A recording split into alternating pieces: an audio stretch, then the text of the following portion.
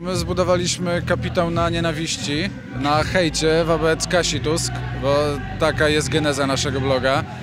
E, I wydaje się, że, że nienawiść w tym kraju po prostu ma się na tyle dobrze, że no, ludzie bardzo chętnie czytają hejty.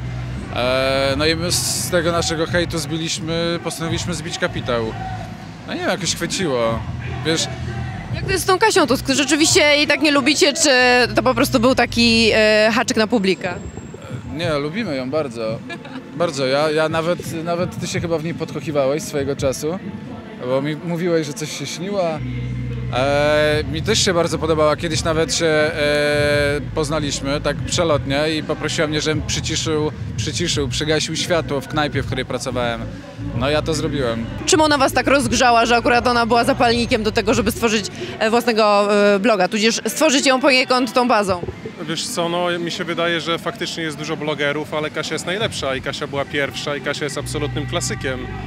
E, więc w 2011 roku, kiedy my zaczynaliśmy naszego bloga, no to, to musiała być Kasia, nie było innej opcji. Także i nadal uważam, że Kasia jest na topie.